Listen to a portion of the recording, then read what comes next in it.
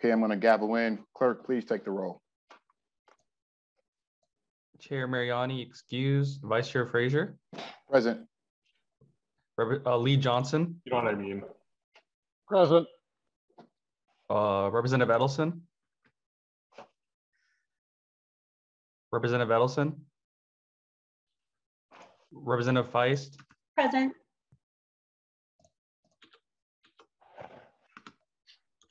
Representative Grossell, Present. Representative Hollins.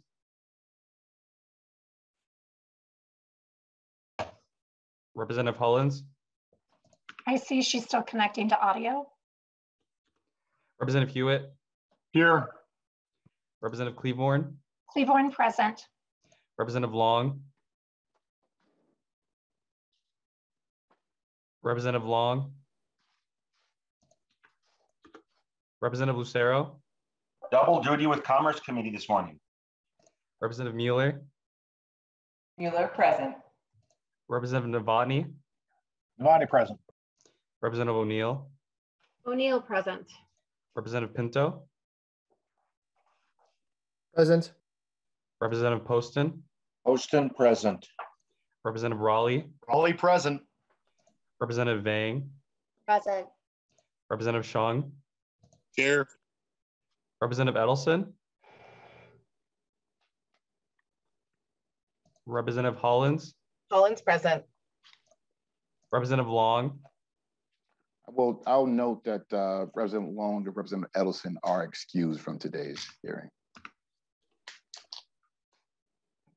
Chair Frazier, that concludes roll call. A quorum is present. Thank you. Uh, Do we have minutes for March 24th that we need to move? Uh, Lee Johnson, have you had a moment to, have you had a chance to see those minutes for March 24th? Yes, I did. Would you like to make a motion to move those minutes? I will do that. Thank you, Lee Johnson. Would a voice vote suffice? That will be fine. All those in favor say aye. Aye. Aye. Any opposed, say nay. Thank you. Those minutes are accepted. Well, committee, I don't have a, I know the chair usually does a theme. We don't have a theme today. Um, and unfortunately, the chair is absent due to an unexpected conflict, so I'll be handling the gavel duties today. Today, we will be hearing department budget presentations from the Minnesota Sentencing Guidelines Commission, um, our post board, and our private detectives board um, as well. And we're going to get started with testifiers from the Minnesota uh, Commission's, uh, I mean, Government Commission guidelines. And first up, we have Nate Reitz, Executive Director of the Minnesota Sentencing Guideline Commission. Mr. Reitz, please come forward, uh, state your name for the record and begin your presentation. Thank you, Mr. Chair. My name is Nate Reitz, and I am the Executive Director of the Minnesota Sentencing Guidelines Commission. Uh, So this, this is a- about the supplemental budget request. The, the governor does not have a supplemental budget request for the Sentencing Guidelines Commission. We were fully funded for the current biennium. So, so really, there is no, um, there is no budget request to present to you today. So I, I could be done. Um, but, but I will say this, I, I, uh, I was challenged by my chair a couple of weeks ago to think about what we could do if we did have more resources. And I don't want to turn this into a, backdoor budget request because we don't have a budget request for you. Uh, but, but I think it is interesting to sometimes think about, you know, what's within the scope of what you could do and, and what are you doing and, and what could you be doing? And some of this goes to what you asked uh, the last time we met, Mr. Chair. Uh, you, you asked me, uh, you know, whether a, a particular uh, topic was within the scope of, of what the Minnesota Sentencing Guidelines Commission could do. Um, and, and really, there's a two-part answer to that. Well, maybe a three-part answer to that. One is what's within the scope of our mission. So I, I think the scope of our mission is very broad. Um, and, and I'm particularly, I'm, I'm kind of setting aside the, the policy side of, of what the Minnesota Sentencing Guidelines Commission does. That's really within the, the scope of, of the, the 11 members who are appointed by the Chief Justice and the governor. Um, I, am really more looking at uh, the, the clearinghouse and information center role that the, that the 1978 legislature gave the Minnesota Sentencing Guidelines Commission when it created the first uh, sentencing guidelines uh, commission in the nation in 1978. And um, and, and it's a pretty broad, um, pretty broad role as I read it. it. It has a very specific mission with respect to being the clearinghouse and information center for sentencing practices within the state of Minnesota. And, and as far as that goes, we do that and we do it very well. I am not a national expert on, uh, you know, sentencing data, uh, but, but I have spoken to a number of national experts who are, and they consistently heap praise on the quality of Minnesota's sentencing data. And that's really because the legislature had the foresight to create the, the Sentencing Guidelines Commission. Uh, I, I know of some research studies that have been done in Minnesota just because that's where the best data was. Uh, and and uh, and we do have good sentencing practices data. We can tell you a lot about what happens at the initial felony sentencing event. Um, and and we provide that data and reports to you, and and it and it, it's helpful and interesting, and I think it um, I, I, think it's valuable to policymakers such as yourselves, and and it's solely because you, the legislature, created us to to uh, to be an agency for that data, but there's a lot of questions that aren't answered, and I think those questions are, at least as I read as I read our mission within the scope of it. Uh, it, it, talks about, in addition to being a, a, clearinghouse and information center on the collection, preparation, analysis, and dissemination of information on state and local sentencing practices, uh, there's also, uh, we're supposed to look at use of imprisonment and alternatives to imprisonment, plea bargaining, and other matters relating to the improvement of the criminal justice system, which is very broad. I mean, even just looking at the, the topic of plea bargaining, there's a lot there, Mr. Chair, in, in the topic of plea bargaining to, to really look at how plea bargaining occurs in the 87 counties in our great state. We would have to know uh, a, a lot of information. We'd have to know about what the underlying offense was that was committed, which would require us presumably to get into police report data. Now there there is uh, there is a lot of data that police are required to forward on.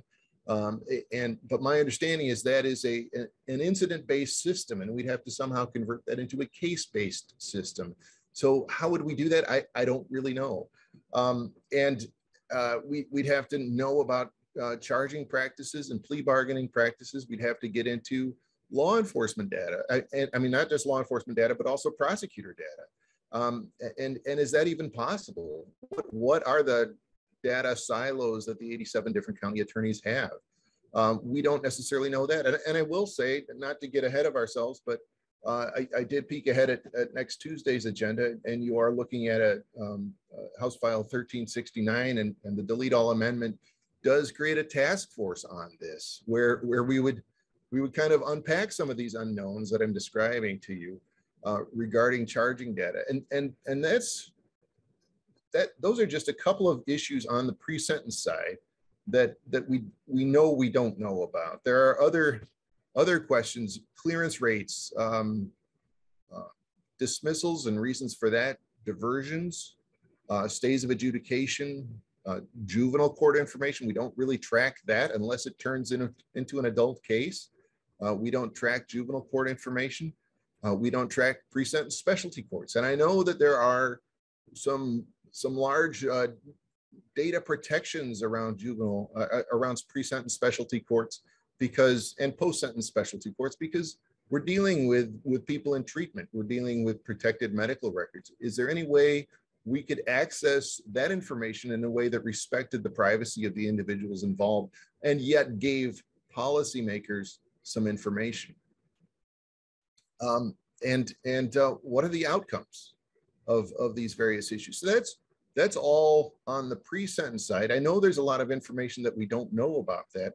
And of course, there's the information I don't know that we don't know about that. So uh, th th there are a lot of unknowns there. And, and, you know, we're just not in a position uh, resource wise to be able to look at those things. We had uh, we had a staff member who's um, who wanted to move closer to family. So she, our, a research analyst, uh, uh, resigned last year to work for the Department of um, corrections in Colorado. And um, we were crippled basically with the loss of that one staff member. And due to the hiring freeze that was in place, we, we didn't have a research analyst in one position for, for the entire year. And as a result, we were behind on our data collection. We didn't do any, uh, I don't think we did any demographic impact statements last year, which we typically do. Uh, so, so there's a lot of work we couldn't do just to maintain our status quo with just the loss of one position. So we're certainly not in a position to be able to move ahead on, on some of these issues. And I've just been describing the pre-sentence area. There's also the post-sentence area, which we also don't look at. That has to do with uh, particularly uh, probation uh, and but other forms of, of post-sentence uh, supervised release. Um, you know, possible data linkages there would be with the Department of Corrections, with the, um, uh, with the judicial branch. Uh, we do have data linkages with the judicial branch, but is there more information that we could get to follow up on on uh, probation? We we what about you know violations? Are people being violated on technical violations? How many times uh, do they come before the court before they're finally sentenced to prison? Um, you know, are people being released from probation early? These are these are data points we just don't track. We don't have the resources to track, um, and we don't know what it would take to track these uh, these data points. Um, and and really, it what we could potentially do, and I, and I appreciate my bosses, the, the chairs asking me to, to sort of think about these things because because it did let me think about, you know, the one question that we could answer, really two questions. Uh, we could answer the, the who questions, right? Where, where are these practices happening?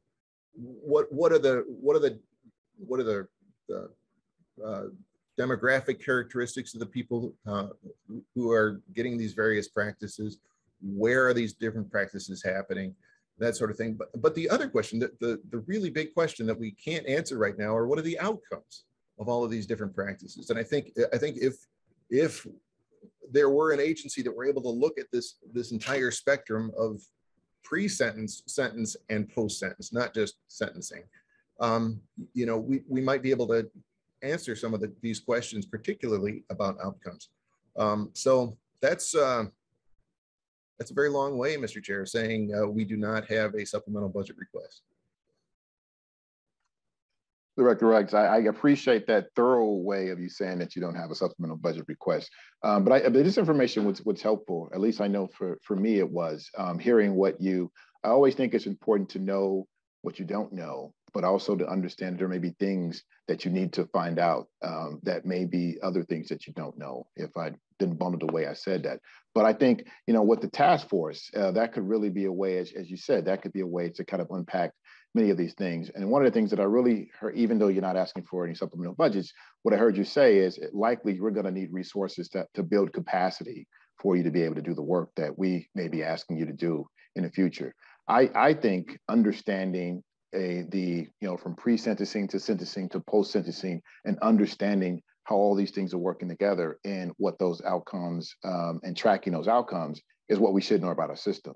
Um, you just stated that you've spoken with people around the country, and we have one of the top. Maybe we have the model around the country. Um, but I think we maybe can we may can also with putting these things together be a leader uh, moving forward. And that's I always want to make sure as Minnesotans uh, we like to lead, and I want to make sure that we do the things and have the resources in place to continue to lead and be the model for the rest of the country. Um, if if any, do any members have any? I don't see any hands yet. Do any members have any questions for or comments for the director? Rep. Claiborne. Thank you very much, Chair Frazier. And I would just like to say I appreciate the forward thinking of um, what, what could we be doing better? And so I want to thank you for the testimony today and for always keeping that in mind and to be frank and honest about the needs of the state, the needs of the people, and how we can constantly improve. So I just want to say thank you again for your testimony today. Thank you, Representative Claiborne. Um, any other questions for Director Reitz? Well, Director Reitz, that was, uh, even though it was a long way of saying you don't have a supplemental budget, it was still very quick. Do you have any closing comments and we'll let you be on your way? Uh, Mr. Chair, I just want to say I, I did not, um, I, I, talked about House File 1369. I don't, I, the commission has not taken a position on that bill. I don't want to, I don't want to be speaking on behalf of the Sentencing Guidelines Commission to say I recommend the bill, but I do think it's it's a very interesting line of inquiry, um, and uh, I, I, would be, be happy to, to fulfill the role that, that I personally have to fill, fulfill, and as an agency, we have to fulfill uh, if, if uh, sufficiently resourced to do so on that bill. Thank you, Mr. Chair. Thank you, Director Reitz. Thank you for your time. Um, Up next, we have our uh, post-board uh, supplemental budget presentation. And I, and I understand that uh, Director Misselt is not able to be here with us today, but we do have the very capable Mr. Mike Meehan, Assistant Director of Post. Mr. Meehan, please come forward to identify yourself and begin your presentation. Thank you, Mr. Chair. Members, can you hear me okay? Yes, we can. Um, I know Director Misselt sent the presentation over. I'm not sure what the protocol is if you're planning on putting that up or if you want me to attempt to share my screen. I believe if you need the ability to share screen, staff, could you please give Mr. Meehan the ability to share uh, screens and then you can put the put the presentation up and proceed.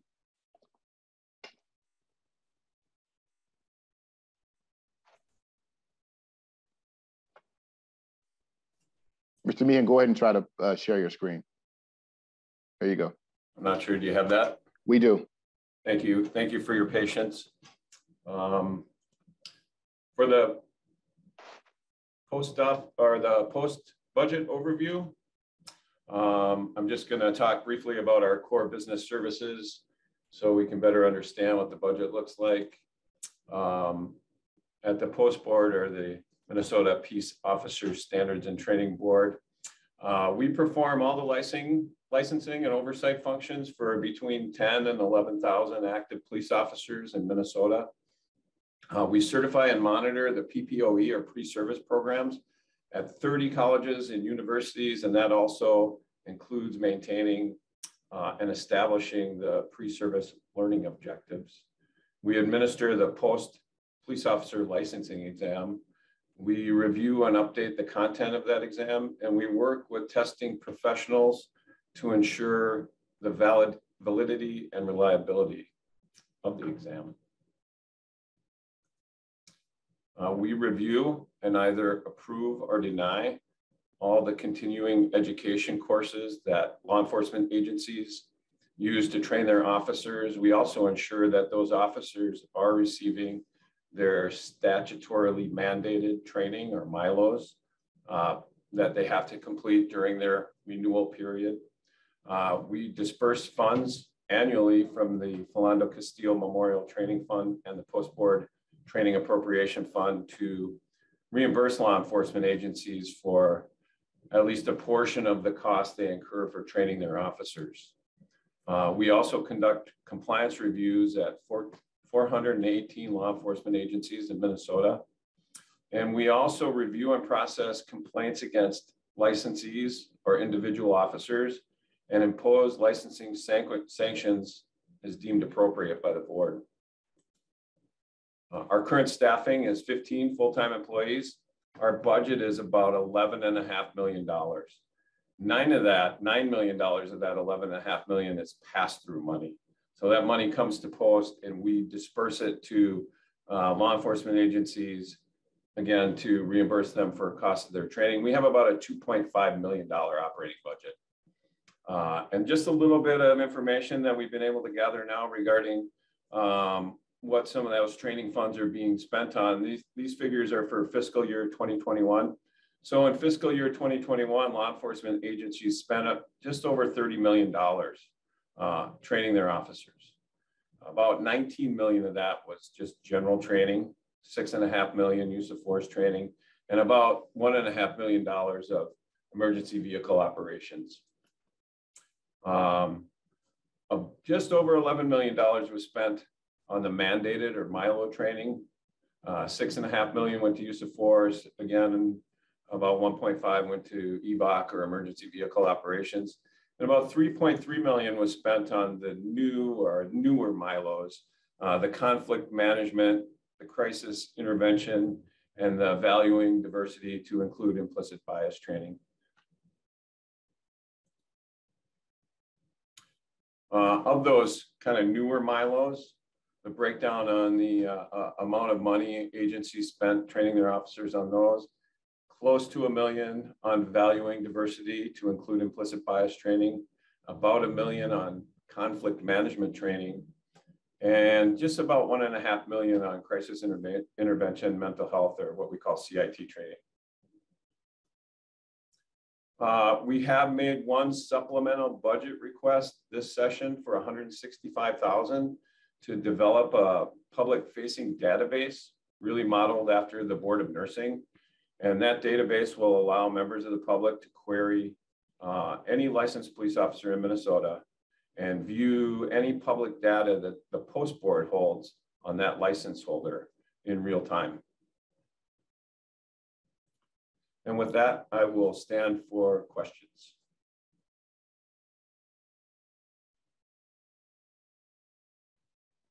Thank you, Mr. Meehan. Members, are there any questions? Uh, Lee Johnson. Uh, Chair Frazier, uh, Mr. Meehan, one question I have on this dashboard to query all officers in the state. Um, are you going to have Minnesota statute? I can't remember which one it is. Because we have a number of officers that are on that task forces and undercover officers under Minnesota statute. I wish I, I wish I could have found it again because I, I worked under it as well when I was on an undercover narcotics officer. Is a county or the employing agency cannot disclose that that officer is employed by that jurisdiction. Um, with this database, are your uh, undercover officers going to be also excluded because under Minnesota statute they cannot be identified? Well, the database would show public data uh, defined under Minnesota data practices, and that would certainly exclude um, personnel data or confidential data. And I believe um, the statute you refer to, um, I believe that puts uh, undercover data under confidential data. Uh, thank, uh, Mr. Mann, thank you. I just uh, want to make sure it's double checked because it is a big safety issue for the officers and their families, as well as for ongoing investigations. I very much appreciate the comment, sir, and I will um, share that information with Director Misselt as well.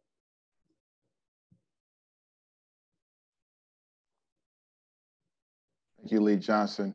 Mr. Meehan, I do, I do have a couple of questions. One of the questions I, I have, um, a couple, and I, see that we're, we're coming up here now on almost a two-year anniversary of the, uh, the death of, of George Floyd. I know we've, there's been a lot of energy and conversations around accountability and uh, transparency and just change, overall change as to how we make sure we, we put a system in place that can, um, you know, move accountability and also in all likelihoods, prevent situations like that from happening in the future. And I guess my question for you is, is it, am I to be correct in understanding that um, the post board itself hasn't moved to make any independent changes around the um, around the standards and conducts um, as of yet? Is that correct? Um, I'm going to say that we are undergoing an examination and a pretty significant, I would say, proposed uh, modification to some of the post board rules, six, 700. Um, that's been a really heavy lift over here. Um, there's a lot of people involved and a lot of community members involved in that project.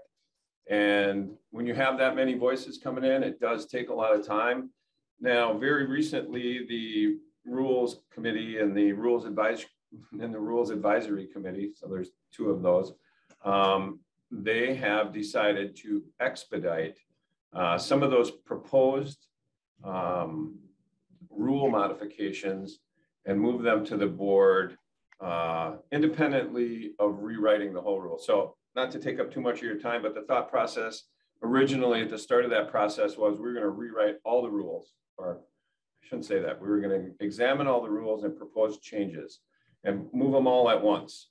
And now they've taken the standards of conduct and a couple other rules and um, they're expediting those. So those are moving along fairly quickly and they're uh, fairly close to being ready to uh, move on to the full board for their approval, but it's a long process. Um, there's public comment that still needs to happen. It still has to be, um, any new rule changes have to be, that get past the board have to be um, reviewed by an administrative law judge for constitutionality and uh, make sure they're not, you know, unpromulgated rules. And so um, I guess to answer your question as directly as possible, sir, we are working hard on making some changes. Uh, and I understand there's some disappointment and frustration that maybe it hasn't happened yet, but uh, it's been a very heavy lift and we're working hard over here to get those um, through the process. Thank you, Mr. Meehan. I, I, I, would say, and I think you accurately described, there is some there is some disappointment and frustration. Um, essentially, looking at the fact that we're coming up here quickly upon the two-year anniversary of what spurred a lot of the conversations and energy that we're having right now. And my hope is that, uh, as, as you all are aware of that disappointment and frustration, that we can that we can kind of pick up the pace even more and hopefully have something in place and move forward prior to the hitting this two-year anniversary. But uh, thank you, thank you for the explanation of what uh, what may be um, slowing down the process. I think it's also good for those that are watching um, and, and, paying attention is to be aware of that, um, but not alleviating that frustration and disappointment, and hoping that we can find ways to move quicker to get something done. Uh, Mr. Meehan, uh, I see we have a couple of more questions. Uh, Representative Lucero. Uh, thank you, Mr. Chair, and I apologize if this has already been asked. It is difficult trying to juggle two Zooms at the same time. Uh, the question I would have is in regards to the, the database. Can uh, it be confirmed for me who is running or who will be having the purview over this? I saw an email from uh, Director Misselt that uh, that alluded to MNIT.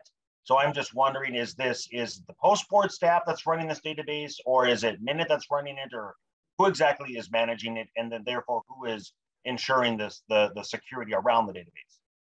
Mr. Meehan. Yes, sir. Thanks for the question. Um, so the post board will be administering the website. Um, I shouldn't say website, the public facing database. Um, and it, I believe the RFP for that, we're looking for a vendor to provide that service for us, which includes um, the cybersecurity component of that. And I believe the RFP for that will post on uh, March 28th. And I hope I answered your question, sir. Representative Lucero. Uh, thank you, Mr. Chair. And okay, so then that, yes, because uh, I think there's a lot more uh, detail that, that we need to delve into this and we may not have the opportunity right now, but this is something that's, that is certainly very important because uh, as you just mentioned, there might be a third party that might be hosting. Uh, I, I, don't want to get too geeky, but when you have a database, so the if if my understanding is correct, that present statute is taking the information from uh, the law enforcement agencies across the state, and it's uploading that to a, a database that's housed or, or managed by Post Board. It's still internally facing, but now under the proposed language, what it would do is, is stick a, a, a web interface in front of that database therefore making that database now public facing instead of just internal facing. And that has an, uh, entirely uh, new level of security that's required because when you have publicly facing uh, information, then you have to put the controls in place to ensure that you don't obviously allow people to change data, to access data beyond what was intended, etc. And what uh, Mr. Meehan just referenced is possibly a third party vendor, which to me sounds like a cloud, possibly. Uh, so, can you confirm if, if the database and the web interface will still sit on prem, or is it going to be managed by a third party up in the cloud? Mr. Meehan. I'm not sure I completely understand your question, sure, and I'm not a tech, an advanced techie person, but um, post board, it won't be the law enforcement agencies entering the data into the public facing database. It will be the post board entering only public data into the public, only public data is defined by Minnesota statute into the public facing dashboard. And um, I can't speak to the security features or the cybersecurity features that will be included to make sure that um, uh, parties looking at that data won't be able to alter it. But um, I know that they have consulted or Director Misselt has been con consulting with uh, people a lot smarter than I am uh, regarding tech issues. So I do appreciate your concern about that, sir. Sorry about that, Mr. Meehan. Representative Lucero. Thank you, Mr. Chair. And I appreciate that Mr. Meehan trying to answer the questions the best he can. Uh, but I will uh, be asking some more of these questions and more deep in on the House floor when this, if this provision does make it to the House floor. So I'm just hoping that the the bill author of this provision will be able to answer some more of the technical security questions that surround protecting the data. Thank you. Thank you, sir. No, I, uh, Representative Lucero, I think those are good questions. I mean, we we do have one of the strongest uh, data protection provisions in the country, from what I understand, and the work that I've done around data privacy. So we want to make sure that we are being compliant with it and protecting the data of uh, of our of our individuals. Thank you for the question, members. Any other questions? Seeing none, Mr. Mr. Meehan, thank you for your presentation. Thank you for your time. Thank you, sir. You're welcome. Members, up next, we have the Private Detectives Board Budget Supplemental Presentation. And uh, to testifiers, we have the Executive Director, Mr. Hugo McPhee. Mr. McPhee, please uh, come forward, identify yourself, and begin your presentation. Uh, Chair Frazier, uh, thank you for the opportunity to present today. Um, I will share my screen if I can manage the uh, the wrinkles of technology, it should be pretty straightforward, I would think.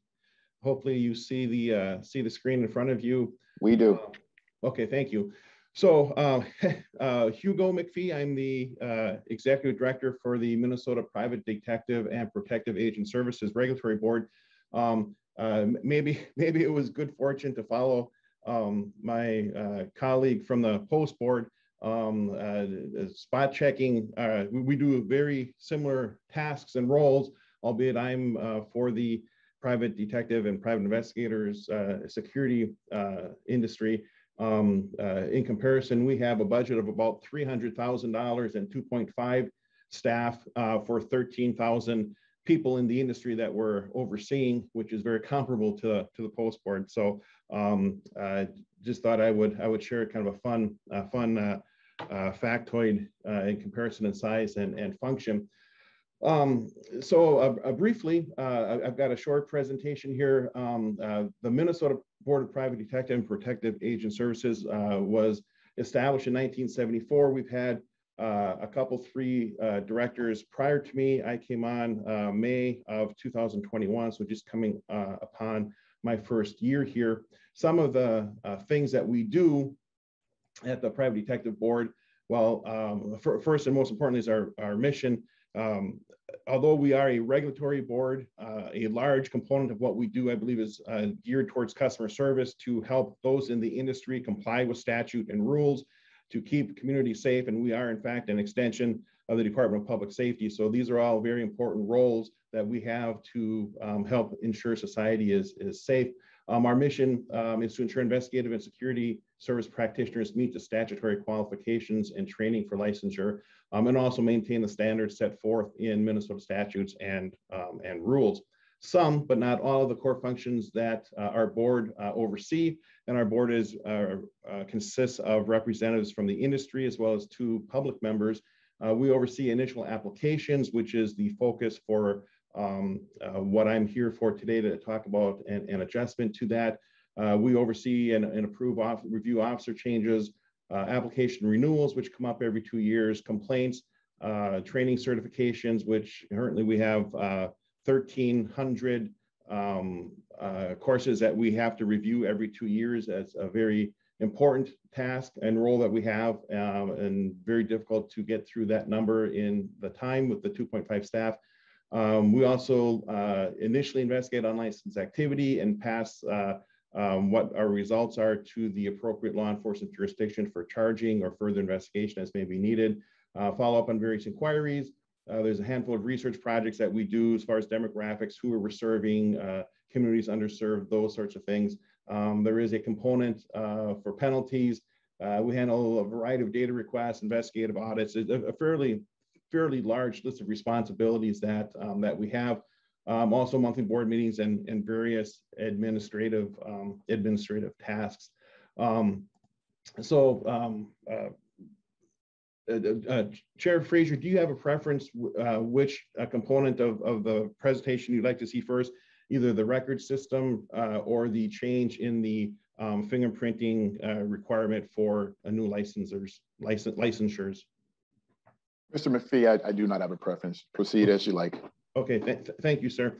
Um, uh, well, first I'll start with um, uh, in, in the state of Minnesota, uh, to become uh, licensed uh, to do any private investigatory or private security work, you need to be licensed. Um, there is a process for that. Uh, state statute 326.3381 outlines what that process is. In comparison, um, employees of license holders um, has a different statute, which um, I will compare here in, uh, in a moment. Um, prior to starting work in the private investigative field, um, uh, you have to go through an application process and uh, in one section of the statutes, you're required to submit fingerprints to my, to my office, to my agency. Um, however, 326.3381 does not meet, and that's the, the uh, license for, uh, or I'm sorry, the statute for obtaining a license does not meet FBI standards for submission of fingerprints for a criminal history check. So the problem with that is if I uh, get my license in um, in the industry, I can hire five people, 55 people, 555 people. Um, statute is sufficient that my employees are done or have a uh, fingerprint check through the FBI and BCA done. Um, and that that passes muster. And I, I know if uh, if somebody has a prohibited act in their background, uh, statute 326.3381 for me as a license holder does not uh, meet FBI uh, standards. So I could be from Wisconsin, Minnesota, uh, not Minnesota, I'm sorry, Wisconsin, Michigan, Montana, Texas, wherever, and come to Minnesota and nobody would know about my past criminal misdeeds, if any, in these other states. And so that is a very great concern uh, to my board, uh, to me as the executive director, that we need to close that uh, loophole um, that uh, will allow um, uh, BCA staff to run the fingerprints that we're collecting anyway. We just don't have the authority to have them uh, processed in the system. And so that is essentially what um, the fingerprint-based uh, FBI query uh, uh, proposed change in legislation is.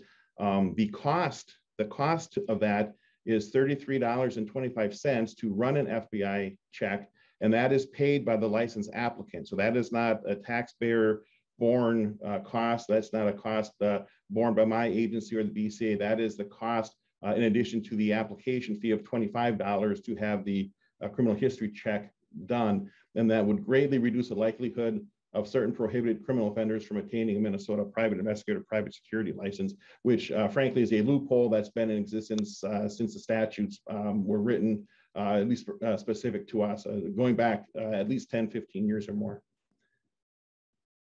Uh, I can pause for questions on this specific nuance, or I can uh, move on to the uh, record system that will help us track this.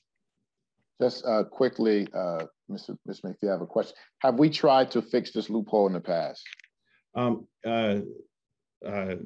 Chair Frazier, um, it, it, has, my staff have told me that it has come up periodically but for whatever reason, it never um, uh, came to fruition either through committee or um, it, it, it's failed along the way um, uh, in the um, uh, in the course of uh, the legislative process. Thank you, Ms. McPhee. Proceed. Uh, uh, thank you, Chair Frazier. Um, so the other part of, of the proposed legislation is a record management system. you can imagine perhaps the um, onerous uh, nature of a manual paper system, which is what uh, we currently have. We do not have an electronic system to track individuals' training, uh, et cetera. Um, and uh, 13,000 uh, people who are in the industry all need at least six hours of continuing education credits every year. Um, and just managing that is, um, as you might imagine, very, very untenable and the risk for errors in uh, improperly crediting somebody uh, credit for classes that they may not have taken uh, could be detrimental if they continue to operate in the industry and didn't have, for example, de-escalation training or, you know, um, sexual violence training or, or, or some such. Um, uh, likewise, for the license holders, um, it's uh, we have about 400, uh, slightly less than that in the industry. Uh, they are up for renewal every two years. Um, the previous slide shows the various tasks and responsibilities we have, and right now it's all done manually by um, paper sheets sheets of paper, uh, spreadsheets, and um, a very very time consuming and um, uh, a record management system, which is pretty much the industry standard. Um, so this becomes digital and electronic and easily searchable.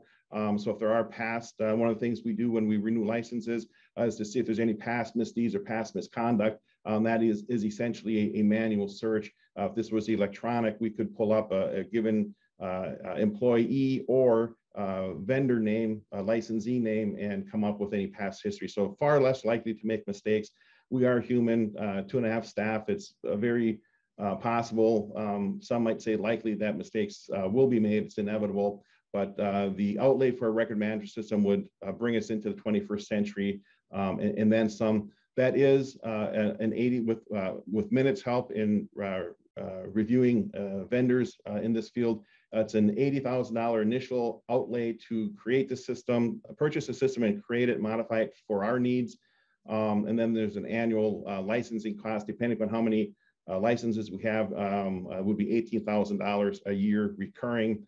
Um, but it uh, dramatically, dramatically will help improve how we uh, in, uh, interface with the industry. And um, those are just some examples with training, licensing, et cetera. So I, I, stand for questions. I hope that was uh, clear, and I, uh, I, can go into more detail um, if, if, somebody does have questions, but I, I, I, will stand for questions if there are any. Members, any questions, members? Lee Johnson. Uh, Chair Frazier, Mr. McPhee, I was uh, surprised when they said just six hours of training uh, for these private detectives. That doesn't even cover any type use of force or bias training, let alone all the other training that uh, they should be having. Um, I think it's something we need to look at to increase that. I'm also surprised that this is a 2022 and you're still doing paper stuff on training. Uh, law, on the law enforcement side, that's been done for decades. Uh, so I, I guess I'm not sure what happened why you end up being so far behind. I also have was wondering when you're setting this up and doing things, we uh, heard in the post board presentation that they're going to have a public uh, place to see any complaints. There's more licensed private detectives in the state of Minnesota than there is right now working peace officers. I think we're down to just over 8,000. Um, are you looking at any type of uh, public area where the public can look up these uh, private detectives, security officers, to see if there's complaints on them as well as you like they are doing on the post board with law enforcement? Um, excuse me, Representative Jensen, that is a very good question. Um, uh, we would be relying um, on MNIT's recommendations as they would be um, helping set up the system and uh, providing the um, uh, backstory for security, et cetera. Um, I envision there would be components that are uh, uh, accessible to the um, to the citizenry, such as what currently is on our website, albeit it's a, a convoluted search to to find it, but um, where we would list all um, uh, license holders, etc. I suspect discipline may or may not be um, uh, protected in some areas. I, I, I, don't know enough about that. I would rely with uh, MNIT and our Attorney General rep Um, uh, but uh, certain aspects, I think, just for transparency, um, uh, as much as we could, should be and would be made available, consistent with what Chapter 13, uh, the data restrictions would uh, limit us to. Lee Johnson. Uh, thank you. You know, I, I, I'd say, uh, Mr. McPhee, thank you for the, the answers. But I'd say, you know, Lee Johnson, I, I have to agree with you. I think we probably have, well, I think we, I know we have, we've neglected um, some of these boards in terms of the resources um, and time and attention that we should put into them. I know that the chair has mentioned, Chair Mariani mentioned the last time this board was before us that he's interested in looking at, at least starting with this budget and investing more to ensure that we give them the resources that they need um, as they're expanding to, um, I, and, and Lee Johnson, as you noted, with a paper system to come into the 21st century. I think that's important. Uh, we want to make sure that we're providing our boards with the resources they need to get the work done with accuracy and efficiency um, as, as much as we should be. Uh, Lee Johnson, another question. Is your hand back up or is that from last time? Yeah, it is back up. Go I, ahead, I just wanted to, uh, I just wanted to uh, uh, follow up with you on this. We have the post board has the programs and the everything in place already. It'd be limited costs to uh, very limited cost just to copy the programs they have and bring them over to the post board. Um, so it's something may may may we, we may want to look at coming up in the next either probably in the next budget cycle, but I to look and give them time to look into see what those minimal costs would be just to grab the computer program, put it put it up in their system and get, just make a few minor tweaks for it. Um, uh, Re- Mr. McPhee, Uh, Thank, thank you, Chair Frazier. Representative, uh, Representative Johnson, uh, um, prior to this undertaking, we did spend time with uh, Director Misselt at the Post Board and um, talked about sharing resources, um, et et cetera. Um, uh, uh, Ultimately, that did not fully come together due to um, uh, a a handful of reasons, I- I suppose, on, on um, uh, their side with uh, mixing and matching the information, uh, the data, et, et- et cetera, and staff assigned to do that and, and whatnot. The program that they currently are using is um, uh, the same one that we would be uh, implementing ideally if, if this is uh, comes to fruition uh, with uh, MNIT's input. Um, and so there's there's some things that we would save by by doing that because that that road has partially been built. Um, and um, uh, so that we did have that initial discussion, but there was not a connection with um, actually sharing the same platform per se. And, and their needs, uh, frankly, might be slightly different than some of the things that we track as well, but um, uh, duly noted, sir. Lee Johnson. Yeah, it wasn't sharing the same platform, it's just share, being able to use the same program so we don't have to rewrite a whole new program and spend millions of dollars on that when we have the program available that can be loaded up into your system, into your department. Mr. McPhee, any response to that? Uh, uh, sir, sir, du- duly noted.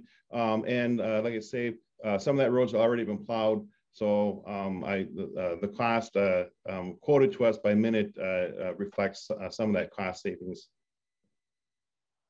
Thank you, Mr. McPhee.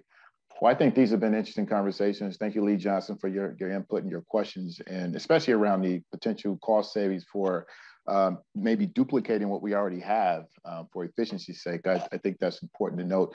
Well, I got to tell you, these have been interesting conversations today, and I'm looking forward to continuing these conversations with all of our boards uh, as we possibly look to make take some action um, as we work out our supplemental omnibus budget this session. So thank you members for being here this morning. Looks like we're going to get out here, get out of here a little bit early. You can get into your weekends and, and those that are awake can get back to your, your local jurisdiction and to your constituents for this weekend. Um, with that, if there's no other comments, I'll pause for a second. With that, this meeting is adjourned. Thank you all.